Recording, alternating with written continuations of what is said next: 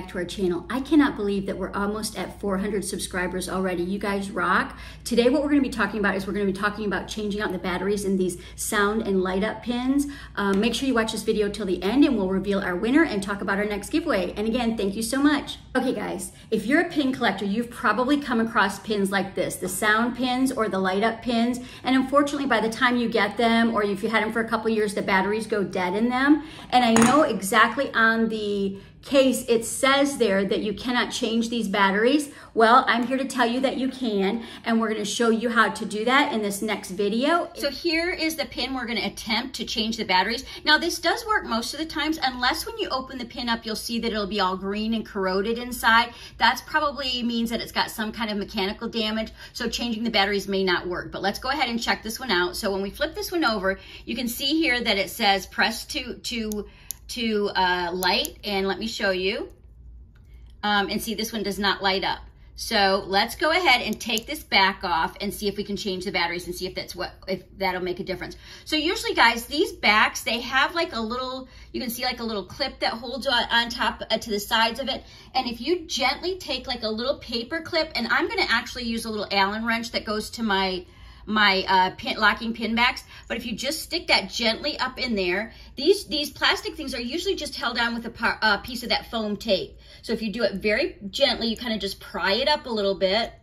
Let's see if I can pry this up.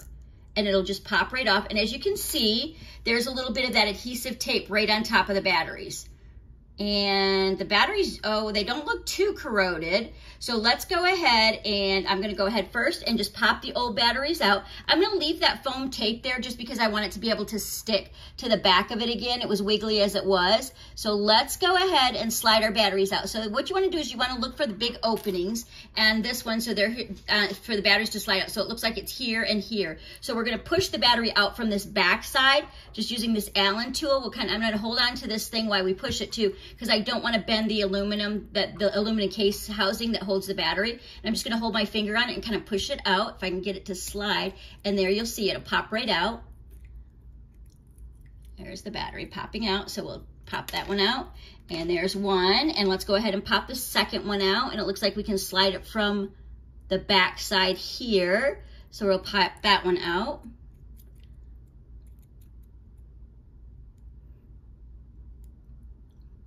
There it goes, and that battery popped right out. Okay, so now I have got some replacement batteries. And most of the battery sizes that work in these, these light up and sound watches or, or pins are these LR 41H batteries. And we actually ordered these online for like, I want to say $5 for two packs of them. And I'll put the link in our bio, or I'll put the link in the description. So if you want to order some. So guys, I couldn't find the exact link that we used to purchase our batteries, but I did post a link of a similar batteries at a similar price and they work just as well. We got ours a couple months ago and I couldn't really find the original link. So make sure you check that out. So let's go ahead and pop our little batteries out first. We've got one here put my ones that are dead over there though, so I don't get confused. So we'll pop our batteries out. Here's one. Pop out the second one. So what I'm doing is I just kind of went in there and used the end of the Allen wrench to kind of scratch out all that green stuff and maybe kind of like recharge the connection a little bit. I see we've got some green stuff here. I don't know if that's damaged the electrical aspect of it, but we'll check it out when we slide our batteries back in. So I think I've got them kind of scraped out pretty good. Got all the green stuff out of there. And now I'm gonna go ahead and slide our batteries back in and see if we can get this working. So we'll slide it back in here. And like I said, I'm just gonna, before I put the back back on, I'm gonna check the connection to see if it's working or not, because we might have to clean it up a little bit more. Let's see. I'll pull this one out. Oh, oh, oh, I think we have, I think we're working. Voila, look, now we have a working light. So then I'm gonna go ahead and put the back back on it, and then I'm gonna show you how to change out the uh, sound ones. So they're, they're a little bit different backs, but look at that, now it works. And I know it did say these batteries are not for changing out, but let's go ahead and slide this back in there. Okay guys, now that we know that it's working, I'm gonna go ahead and stick the back back on. And again, these are just held on with a little bit of sticky foam tape. And now that we've peeled it off, it's probably not super sticky. So I'm gonna just peel this off and I'm gonna replace it with a new piece of foam tape that I've got here. Give me one second, and I'll grab that. So I've got another little piece of clean foam tape that I'm gonna stick right back on top of those batteries. And then we're gonna go ahead and put our back back on. And the back actually has like a little flange thing. You can see it here. These are not really built for, like I said, they're not built for changing out. So all you're gonna do is when you put this back on, you're gonna kind of tuck that on the side there. We gotta line it up with our button to start it, which is here. And then the battery housing goes back over there. So first we're gonna slide this on here. There we have the back on and let's go ahead and push the button and see if it works. And it is lighting up. And we'll set this one aside and let's go ahead and work on a sound one next. So these ones are super cool. These ones are those sound ones. So this is of course Colors of the Wind. And when we push the button, of course the sound is not working at all. We push it, nothing. So what I'm gonna do guys is I'm just gonna go ahead and very gently take a little scalpel and I'm gonna pop the back of this little case off here, just pop it right off. These are just like, kind of like old, like old school glued on. And I'm gonna show you how to open these up and we'll see if we can get this one working. So these are a little bit different because they're a flat kind of closed case like this. But you, these come off actually really, really easy. So let me move this out of the way so we focus on what we're doing here. So these ones have, see these like little tab things where they slide into the bottom case of it. There's one on either side. So these ones are very, very easy. All you do is you just kind of stick your little Allen tool down in there and it just kind of unhooks it from the top. And then we're gonna do it to the other side. And these ones are a little bit different inside. So we're gonna pop that down there and they're a little bit different inside. So let me show you what it looks like inside. Take it off really gently. And here's our inside part. I'm gonna set that aside. And here's our battery part and I guess our sound part. So let's go ahead and see if we can change out these batteries and get this one working. So guys, these are a little bit different. They've got a little metal flange in it. See if you can see it on both sides here and here. So I'm just gonna lift that flange up so we can go ahead and slide the battery out. I'm just gonna use these little um, hemostats to do it.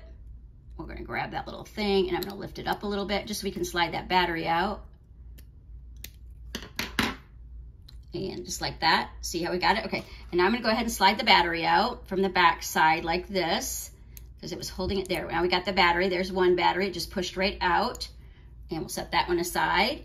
And then I'm gonna go ahead and lift the little flange on this one as well so the battery can slide out. See it right there? We'll just lift it a little bit so we can slide that battery out because those, those are holding it in place. Those weren't on the other ones, but we're gonna go ahead and lift it up a little bit if I can get a hold of it. I get a hold of it with my nail, I think. And we're just gonna gently lift it. There, we've got it where I can grab it now with the hemostats because it was pretty tight against the battery. So we're gonna grab it and just pick it up a little bit. And we're gonna go ahead and slide the battery out from the back side. Come out, I think it'll come out. We just push it right through there and that slides the battery out from the back side. Okay, like that. And now we're gonna go ahead and take out two new batteries and see if we can get this thing working. Uh, it looks pretty good in there. It doesn't look corroded or anything to me. It looks pretty good. So this one should work fairly easily once we get the batteries changed out. Change, grab two little batteries here. Here's one, and here's two. And again, those are down. The connection, this, this part goes down, that part goes down. So we're gonna go ahead and just slide those in there. Oh, wrong side. Slide these in there, put them up under that little flange thing, push it down in there and then get this one and we're gonna lift it up underneath that little tab there and just slide it back in there like that. And then I'm gonna, now I'm not gonna lock those tabs in place just yet. I wanna see if this is gonna work. Let's see. And let me see, we'll put the back, we'll set it back in there and see if it's gonna work because it's that little metal connection right there. See that little, that little like, uh, see that little spiral metal thing that's on there? And what that does is that makes a connection right there with that metal plate. So we're gonna drop it in there and see if we push it, if it works. It should work. Well, let me see. And la la, we've got it. Now these things sound pretty awful though, in the long and the short of it, but at least we fixed it. So let's go ahead and put this one back together. Yes, and see, that's how easy it is. Even though it says batteries are not meant to be replaced, you can replace them.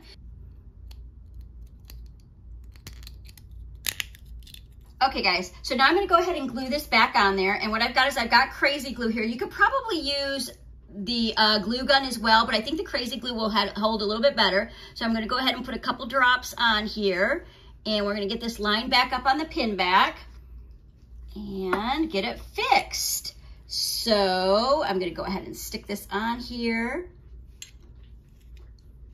Make sure that everything's in there really good. And I'm just gonna hold it for a few seconds while it sets up. We get everything lined up there.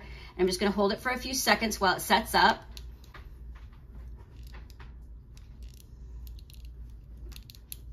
And you know, it doesn't take long, but you know, the crazy glue, they've switched it up now so that it doesn't bond immediately so that, you know, people don't glue their fingers together or I don't know, their tongues or something. So it does give you like a second to wipe off. So you kind of got to hold it for a few minutes.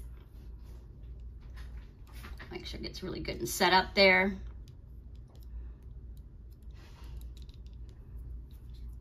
But yeah, that's how easy it is to change out the batteries. And like I said, I know that it says on there batteries are not meant to be changed, and there probably weren't. I mean, they probably thought, okay, the batteries are going to last a couple years, which you know is good enough. But when you collect pins and you get pins like this and you're disappointed that they're not working, it's kind of, you're like, oh, dang it. So we are fixing them up and we're doing, showing you how to do the good stuff. So there we have it, guys. We have both of these working now, the sound and the lights. And that's how easy it is to change out the batteries of these. Okay guys, I hope that video was helpful in helping you restore your sound and light up pins. And let us know in the comments if you've tried this and how it goes. For Now the time has come, we're going to draw for our Figment winner here. So I'm gonna put everybody's name who commented into our random generator and we're gonna see who it is. Okay everybody, here we are back at our Wheel of Names. And I, earlier I created a document and it added everybody's name who had commented on our previous video. So I'm gonna scroll through here so you can all see that your name is indeed there. And I think this week we had 45 comments, something like that. And again, thank you so much everybody who's hanging out with us and commenting. We really appreciate you. And now we're gonna go ahead and we're gonna spin for our winner. Who's it gonna be? Let's check it out.